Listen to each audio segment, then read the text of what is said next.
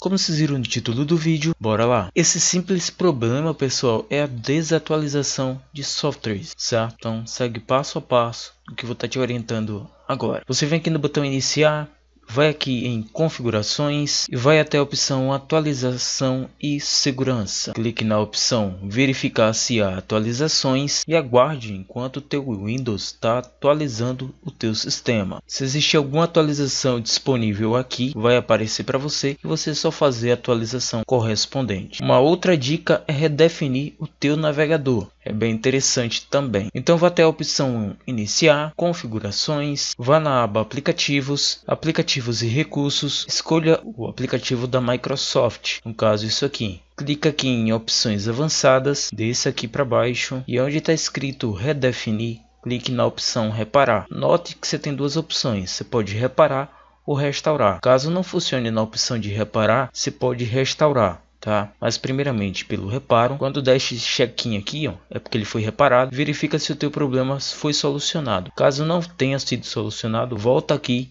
e clica aqui em restaurar, nesse botão novamente em restaurar e verifica agora se o teu problema está corrigido. Bem, espero que você tenha gostado, qualquer dúvida deixa aqui no comentário que estarei te respondendo assim que possível. Fico por aqui e nos vemos em um próximo vídeo.